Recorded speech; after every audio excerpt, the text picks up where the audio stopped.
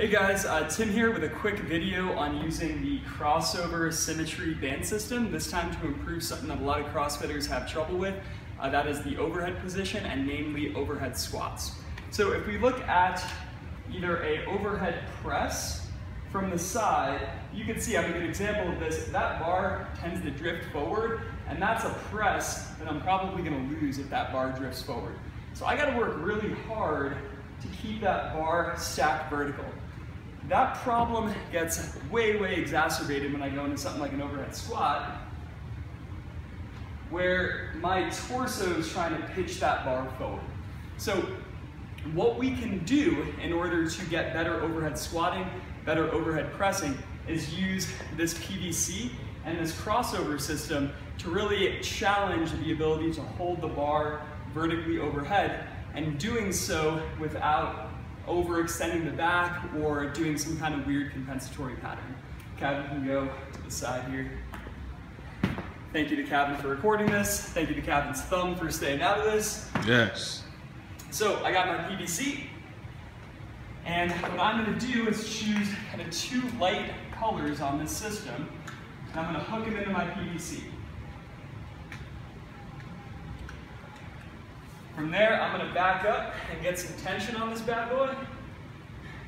And I'm gonna go into a nice half kneeling position. Now in this half kneel, you're gonna try to tuck the pelvis underneath you and get your ribs down to really challenge the ability to hold a neutral spine and not overextend.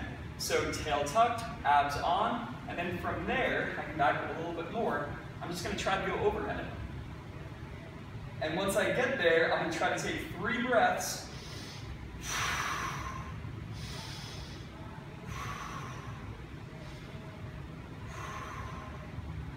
Where I try not to let that band resistance pull that bar forward. Now ideally I would do three to five breaths with that left leg forward, three to five with that right leg forward. And again, this position just enables you to more easily maintain that neutral spine position that we're always chasing. Once that feels pretty easy, we can get kind of fancy and go to something that looks like this, which is way more like an overhead squat. So foam roller between the knees in a little mini squat, and then trying to get there.